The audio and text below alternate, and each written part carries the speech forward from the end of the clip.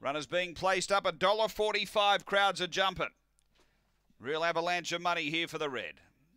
Last few locked away. We're right, light on, set to go. Race nine. $1.45 crowds are jumping for Jan Jones. Ready? Racing, hopped out well, crowds are jumping's going to hustle through and be the lead.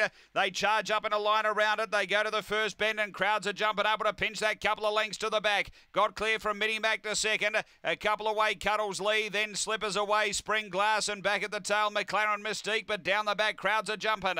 Out by three to Mini Mac, a length and a half away, Slippers away, and then came Cuddles Lee up to the bend and crowds are jumping, straightened with a nice break. Clear over Mini Mac and crowds are jumping, too good. Charging home into second, McLaren Mystique. Third, Slippers away from Mini Mac. Uh, then Spring Glass and back at the tail, Cuddles Lee. The run here is around 29 and 90. After the running of race number nine, and uh, crowds are jumping. The money was spot on there. Hopped out, found the lead. She was never in any danger. Pretty comfortable in the end. Uh, McLaren Mystique really charged through late. And uh, third to seven, which is Slippers away.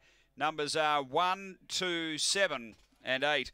Crowds are jumping. Jan Jones, uh, the owner trainer,